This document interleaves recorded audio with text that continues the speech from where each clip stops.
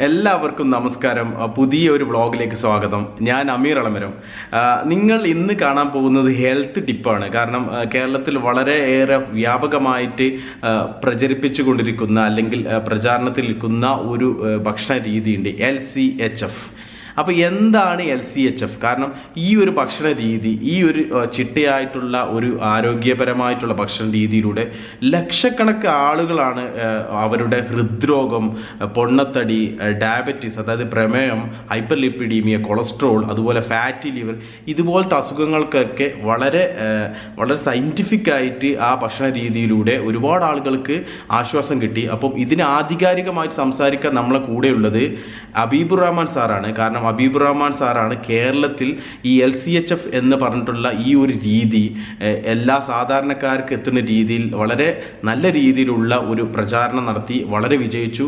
ഹബീബ് റഹ്മാൻ സാറുമായിട്ടുള്ള ഒരു ചർച്ചയാണ് ഒരു ഇന്റർവ്യൂ ആണ് ഇതിൽ അപ്പോൾ ഇത് ഞാൻ രണ്ട് മൂന്നും എപ്പിസോഡായിട്ടാണ് ഇത് ചെയ്യുന്നത്. നിങ്ങൾ ആദ്യമായിട്ടാണ് എന്നെ യൂട്യൂബിൽ കാണുന്നതെങ്കിൽ നിങ്ങൾ തീർച്ചയായിട്ടും താഴെ കാണുന്ന സബ്സ്ക്രൈബ് എന്ന ചുമന്ന ബട്ടൺ ഉണ്ട്. അതൊന്ന് ക്ലിക്ക് ചെയ്യുക. അത് സൈഡിലായിട്ട് ഒരു ബെല്ലൈക്കൺ ഉണ്ട്. അപ്പോൾ ബെല്ലൈക്കൺ ക്ലിക്ക് ചെയ്താൽ മാത്രമേ ഞാൻ ഇതുപോലെ വിജ്ഞാനപ്രദമാവും അറിവ് നൽകുന്ന പുതിയ പുതിയ വീഡിയോകൾ അപ്ലോഡ് ചെയ്യുന്ന ആ സമയത്ത് തന്നെ നിങ്ങൾക്ക് ഇമെയിലിൽ നോട്ടിഫിക്കേഷനും മൊബൈലിൽ നോട്ടിഫിക്കേഷൻ ലഭിക്കുകയുള്ളൂ. അപ്പോൾ ആ ബെല്ലൈക്കൺ ജസ്റ്റ് ഒന്ന് ക്ലിക്ക് ചെയ്യുക. പിന്നെ ഈ ഒരു വീഡിയോ നിങ്ങൾക്ക് ഇഷ്ടമായി അല്ലെങ്കിൽ ഇത് ഒരു ഉപകാരപ്രദമാണെന്ന് തോന്നിക്കഴിഞ്ഞാൽ നിങ്ങൾ തീർച്ചയായിട്ടും ആ ഷെയർ എന്ന ബട്ടൺ ക്ലിക്ക് ചെയ്തിട്ട് മാക്സിമം ആളിലേക്ക് ഷെയർ ചെയ്യുക. കാരണം നിങ്ങൾക്കറിയാം ഈ ഭക്ഷണ രീതി ഹൺഡ്രഡ് പെർസെന്റ് സേഫാണ് ലക്ഷക്കണക്കിന് ആളുകൾ ഇത് ഉപയോഗിച്ച് പോരുന്നുണ്ട്. ആ എൽ സി എച്ച് എഫ് എന്ന് പറഞ്ഞിട്ടുള്ള ടെലിഗ്രാം ഗ്രൂപ്പിലും ഫേസ്ബുക്കിലും കയറിയാൽ അറിയാം. ഒരുപാട് ആളുകൾ ജോയിൻ ചെയ്തിട്ടുണ്ട്. അപ്പോൾ നിങ്ങൾക്ക് ഇഷ്ടപ്പെട്ട് കഴിഞ്ഞാൽ ജസ്റ്റ് ഒന്ന് ലൈക്ക് ചെയ്യുക. എന്തെങ്കിലും ഡൗട്ടുകൾ നിങ്ങൾക്ക് ഉണ്ടെങ്കിൽ ഈ വീഡിയോയുമായിട്ട് എന്തെങ്കിലും ഡൗട്ട് അല്ലെങ്കിൽ ഈ എൽ സി എച്ച് എഫ് എന്ന് പറഞ്ഞിട്ടുള്ള ഈ ഭക്ഷണ രീതി എന്തെങ്കിലും ഡൗട്ട് താഴെ കാണുന്ന കമന്റ് ബോക്സിലുണ്ട് അപ്പോൾ താഴെ പോയി കഴിഞ്ഞാൽ അവിടെ ജസ്റ്റ് ഒന്ന് കമന്റ് ചെയ്യുക നിങ്ങളുടെ സംശയങ്ങളൊക്കെ. അപ്പോൾ നമുക്ക് വീഡിയോയിലേക്ക് പോവാം.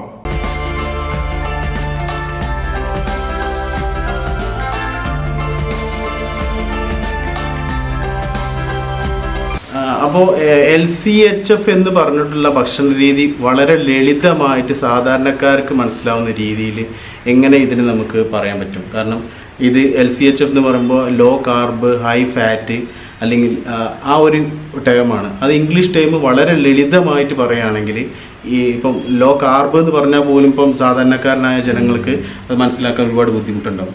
അത് വളരെ ലളിതമായ രീതിയിൽ എങ്ങനെ അതിനെ കാർബ് എന്ന് പറഞ്ഞുകൊണ്ട് ഉദ്ദേശിക്കുന്നത് കാർബോഹൈഡ്രേറ്റ് ആണ്. അതിൽ ചുരുക്കി പറയുന്നതാണ്. കാർബോഹൈഡ്രേറ്റ് എന്ന് പറയാൻ അന്നജങ്ങൾ. ഞാൻ ആദ്യം പറഞ്ഞ കിഴങ്ങ് ധാന്യങ്ങൾ പഞ്ചസാര ഇതൊക്കെ.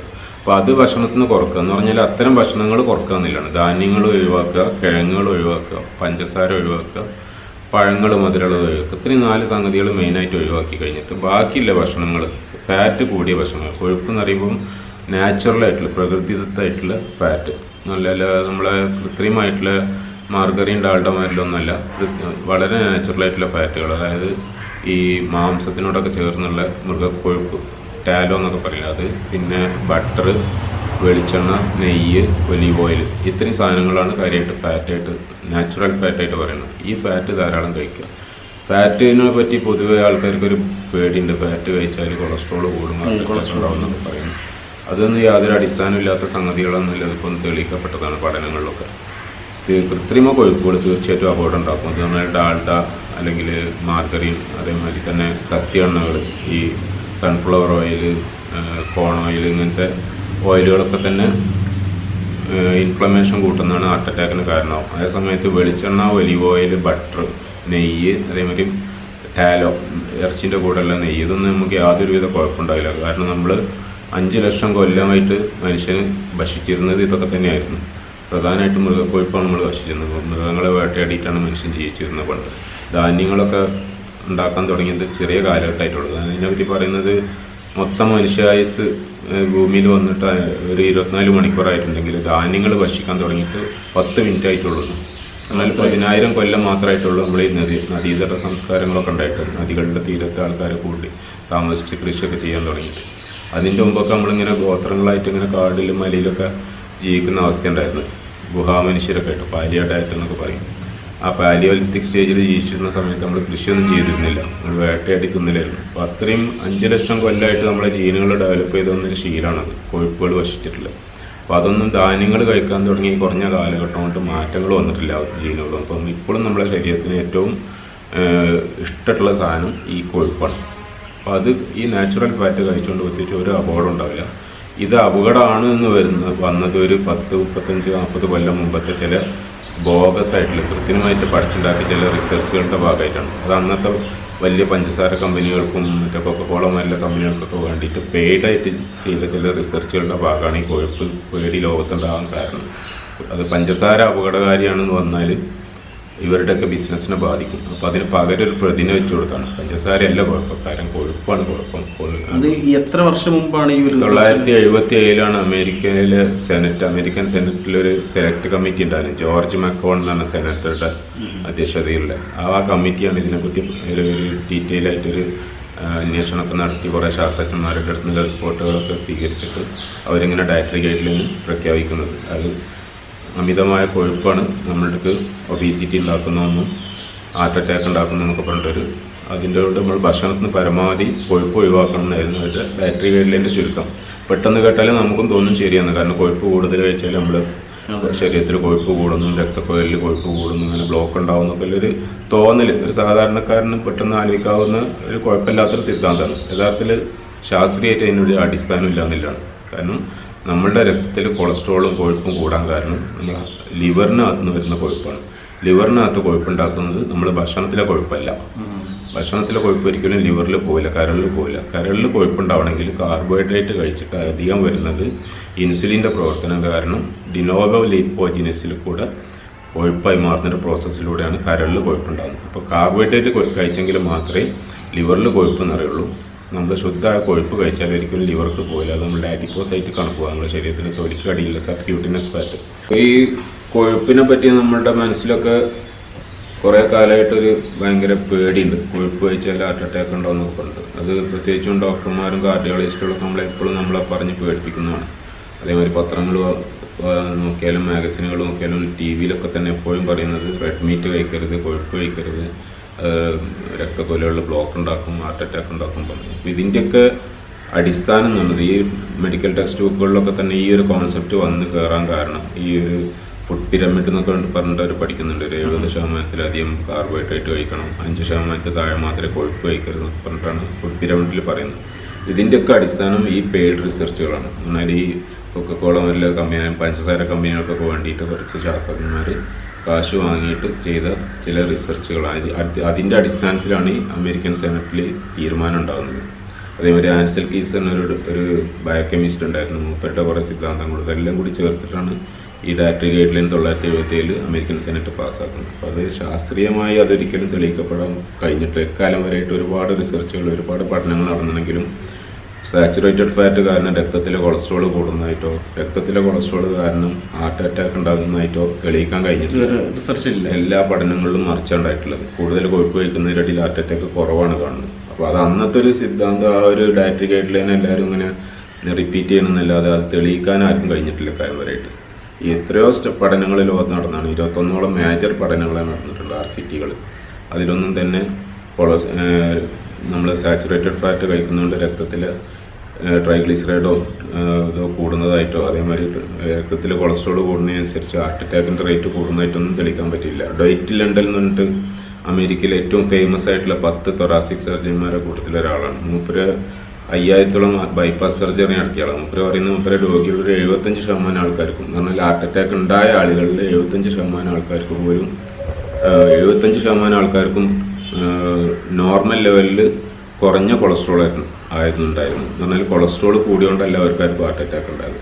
അതേപോലെ കൊളസ്ട്രോൾ കുറച്ചുകൊണ്ട് ഹാർട്ട് അറ്റാക്കിന്റെ റേറ്റ് കുറക്കാനും പറ്റില്ല. നമ്മൾ ഈ സ്റ്റാറ്റിന്മാരിലെ ഗുളികൾ നന്നായിട്ട് മാർക്കറ്റ് ചെയ്യുന്നുണ്ട് കമ്പനികൾ കൊളസ്ട്രോൾ കുറക്കാനില്ല. പക്ഷേ ഈ സ്റ്റാറ്റിന് യാതൊരു ബെനിഫിറ്റും ഇല്ല എന്നുള്ളത് ഡബ്ല്യു എച്ച് ഒന്റെ നേതൃത്വത്തിൽ നടന്ന പഠനത്തിൽ തെളിയിക്കപ്പെട്ടതാണ്.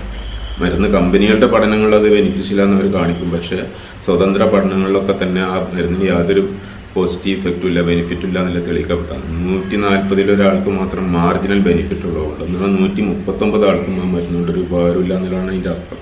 മാത്രമല്ല ഒരുപാട് സൈഡ് ഇഫക്റ്റ് ഉള്ള മരുന്നുകളാണ് സ്റ്റാറ്റിന് മസിൽ ഡാമേജ് ഉണ്ടാക്കുന്നുണ്ട്. അതേമാതിരി മറ്റേ പ്രമേയം ഉണ്ടാക്കുന്നുണ്ട് ആൾക്കാർക്ക്. ഒരു കൊല്ലൊക്കെ മരുന്ന് വെച്ചാൽ ഒരു ആൾക്കാർക്കൊക്കെ പ്രമേയം പിടിക്കുന്നുണ്ട്. അതേമാതിരി മസിലൊക്കെ വീക്ക് ആകുന്നുണ്ട് ഹാർട്ടിന്റെ മസിൽ വരെ വീക്കായിട്ട് അതുകൊണ്ട് ഹാർട്ട് അറ്റാക്ക് വരെ ഉണ്ടാകുന്നുണ്ട്. എന്ന് പറഞ്ഞാൽ ഹാർട്ട് അറ്റാക്ക് വരാതിരിക്കാൻ വേണ്ടി നിങ്ങൾക്ക് തരുന്ന മരുന്ന് തന്നെയാണ് ഹാർട്ട് അറ്റാക്ക് ഉണ്ടാക്കുന്നതെന്ന് അർത്ഥം ചുരുക്കത്തിൽ കൊളസ്ട്രോൾ കുറക്കുക എന്നുള്ളത് ഇതിനകത്തൊരു ഇമ്പോർട്ടന്റ് സംഗതിയല്ല. കൊളസ്ട്രോൾ അല്ല കുറക്കേണ്ടത് നമ്മൾ കുറക്കേണ്ടത് ഷുഗറാണ് കാർബോഹൈഡ്രേറ്റ് ആണ്. കാർബോഹൈഡ്രേറ്റ് ആണ് യഥാർത്ഥത്തിൽ ഇൻഫ്ലമേഷൻ വർദ്ധിപ്പിക്കുന്നതും ആർട്ടറികളിൽ ബ്ലോക്ക് ഉണ്ടാക്കുന്നതും.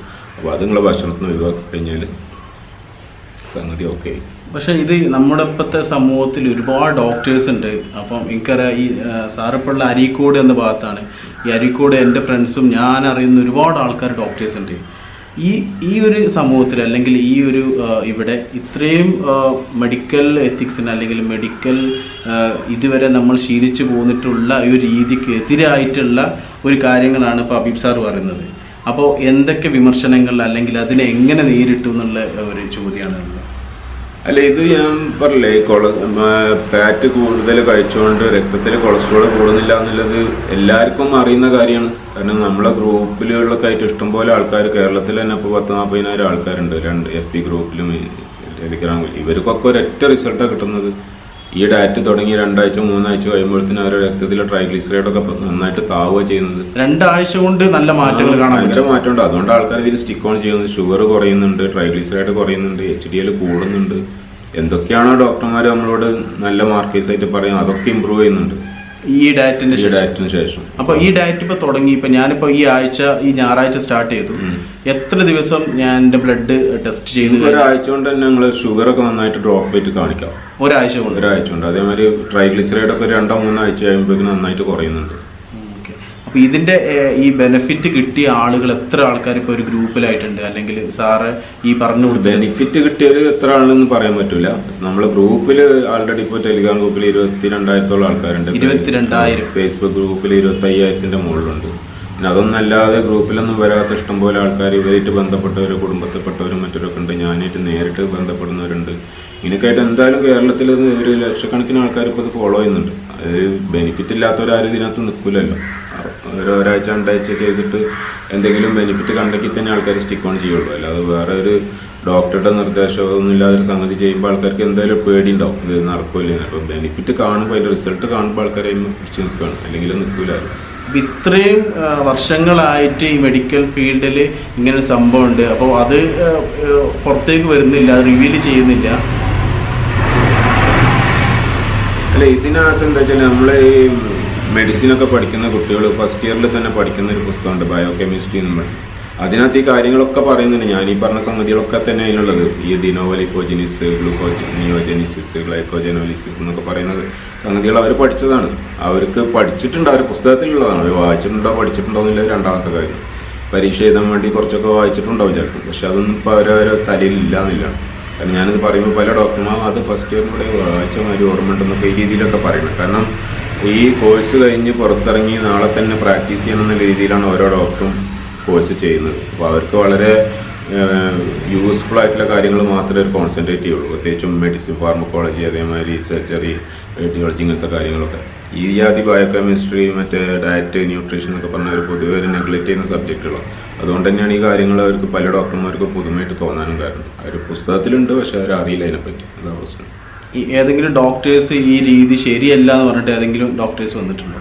ഇന്നിപ്പം ഇതിന്റെ വ്യാപക പ്രചരണം കാരണം ഒരുപാട് ആൾക്കാർ ഇതിനെതിരിൽ തന്നെ ഫേസ്ബുക്കിലും ബാക്കിയിലോടത്തൊക്കെ വരുന്നുണ്ട്. അതിനൊന്നും യഥാർത്ഥത്തിൽ ഒരു ശാസ്ത്രീയമായ കാരണങ്ങളൊന്നും വെച്ചിട്ടല്ല. അവർ പറയുന്നത് പ്രധാനമായിട്ടും ഇത് ഇപ്പോൾ ഒരുപാട് ബെനിഫിറ്റ് ഉണ്ടാവും ഷുഗർ കുറയും കൊളസ്ട്രോൾ കുറയും അതൊക്കെ ശരി തന്നെ ഒബീസിറ്റി കുറയുന്നുണ്ട്. അതൊക്കെ അംഗീകരിക്കാം. പക്ഷെ ഒരു പത്തോ പതിനഞ്ചോ കൊല്ലം കഴിഞ്ഞാൽ എന്ത് കുഴപ്പമുണ്ടാക്കാന്ന് ഇപ്പോൾ പറയാൻ പറ്റില്ല എന്ന് പറഞ്ഞിട്ട് ഇങ്ങനെ ഒരു ആൾക്കാർ ഒരു കൺഫ്യൂഷൻ ആക്കുന്ന സംസാരമില്ലാതെ ശാസ്ത്രീയമായിട്ട് തന്നെ കാരണം കൊണ്ട് ഇന്ന സംഗതി കൊണ്ട് ഇത് അപകടമാണ് ഇത് തെളിയിക്കപ്പെട്ടതാണെന്ന് പറയാൻ ആർക്കും ധൈര്യം വന്നിട്ടില്ല. കാരണം ബയോകെമിസ്ട്രിയാണ് അവർ പഠിച്ച അതേ ബയോകെമിസ്ട്രിനെ ഞാനും പറയുന്നു പുതിയതായിട്ടൊരു വിഷയം ഞാൻ പറയുന്നില്ല ഇതിനകത്ത്. അപ്പോൾ ഈ ഇതിലിപ്പം വേറൊരു കാര്യം എന്താ വെച്ച് കഴിഞ്ഞാൽ ഇപ്പം ഈ ഡോക്ടേഴ്സ് പറയുന്നുണ്ട് ഇത് പതിനഞ്ച് വർഷം കഴിഞ്ഞാൽ അത് എന്തെങ്കിലും എഫക്റ്റ് വരുന്നുണ്ട്. വരുന്നല്ല വരാൻ സാധ്യത ഉണ്ട് എങ്ങനെയാന്നില്ലൊന്നും ഒരു എക്സ്പ്ലെയിൻ ചെയ്ത് എക്സ്പ്ലെയിൻ ചെയ്യുന്നില്ല ഈ കീറ്റോ ഡയറ്റ് എന്ന് പറഞ്ഞതും ഈ എൽ സി കീറ്റോ ഡയറ്റ് എന്ന് പറഞ്ഞാൽ കീറ്റോജനിക് ഡയറ്റ് എന്നുള്ളതിന്റെ ചുരുക്കമാണ് അതായത് നമ്മൾ ഭക്ഷണത്തിൽ ഗ്ലൂക്കോസ് പരമാവധി കുറച്ച് കഴിഞ്ഞാൽ അതായത് ഒരു അൻപത് ഗ്രാമിന്റെ നാൽപ്പത് ഗ്രാമിന്റെ ഒക്കെ താഴെയായിട്ട് ഗ്ലൂക്കോസ് ലിമിറ്റ് ചെയ്ത് കഴിഞ്ഞാൽ ശരീരത്തിന് ആവശ്യ ഊർജം കിട്ടില്ല അപ്പോൾ കൂട്ടുന്ന ലൈപ്പോലിസിസ് എന്ന് പറയും. ഫാറ്റിനെ വിഘടിപ്പിച്ചിടുന്നതിന് ഈ കീറ്റോൺസും ഗ്ലിസറോളൊക്കെ ഒക്കെ മാറ്റുന്നത് അപ്പോൾ ഈ കീറ്റോൺ ഉണ്ടാക്കുന്ന രീതിയിലുള്ള ഭക്ഷണത്തിനാണ് കീറ്റോജനിക് ഡയറ്റ് എന്ന് പറയുന്നത്. അതായത് ഫാറ്റ് കൂടുതലും കാർബോഹൈഡ്രേറ്റ് കുറച്ച്. ഇത് എൽ സി എച്ച് എഫ് തന്നെ ഒന്നും കൂടി സ്ട്രിക്റ്റ് ആയിട്ട്. എൽ സി എച്ച് എഫ് എന്ന് പറയുമ്പോൾ ഒരു അൻപത് ഗ്രാം വരെയൊക്കെ ഗ്ലൂക്കോസ് ഒരാളൊക്കെ ഒരു ദിവസം കഴിക്കുക. കീറ്റോജനിക് ഡയറ്റ് ആകുമ്പോൾ ട്വന്റി ഗ്രാമിന്റെ താഴെ പാടുള്ളൂ. അത് വ്യത്യാസമുള്ളൂ. ബേസിക്കലി സെയിം തന്നെയാണ്. ഈ ഏതൊക്കെ പാശ്ചാത്യ രാജ്യങ്ങളാണ് യൂറോപ്യൻ രാജ്യങ്ങളാണ് ഇത് സ്ട്രിക്റ്റ് ആയിട്ട് ഫോളോ ചെയ്തിട്ട് റിസൾട്ട് കിട്ടിയെന്ന് ഇതിപ്പോ രണ്ടായിരത്തി അഞ്ചിൽ സ്വീഡനിലൊരു അനിക്ക ഡോൽക്കെസ്റ്റ് എന്ന ഡോക്ടറാണ് ഈ ഒരു പേരിൽ ഇത് പ്രചരിപ്പിച്ചത്. ആയിട്ടൊന്നും low carb high fat diet എന്ന് പറഞ്ഞു അതേസമയത്ത് ആയിരത്തി എണ്ണൂറ്റി അൻപത്തി മൂന്നിൽ യു കെയിലുള്ള ഒരു വില്യം ബാൻഡിങ് എന്ന് പറഞ്ഞ കക്ഷി ഒരു പുസ്തകം എഴുതിയിട്ടുണ്ട്. Letter on corpulence address to public എന്ന്. മുപ്പരാണ് ആദ്യം ഈ കോൺസെപ്റ്റ് ലോ കാർബോഹൈഡ്രേറ്റ് ഭക്ഷണം കൊണ്ട് നിങ്ങൾക്ക് ഒബീസിറ്റിനും ഡയബറ്റീസിനൊക്കെ അഡ്രസ്സ് ചെയ്യാൻ പറ്റുന്നില്ല കാര്യം ആദ്യമായിട്ട് ആ പുസ്തകത്തിൽ. അന്നാണത് ലോകം ഇങ്ങനെ ഒരു ഒരു ഡയറ്റ് രീതിയായിട്ട് അറിയപ്പെടുന്നു.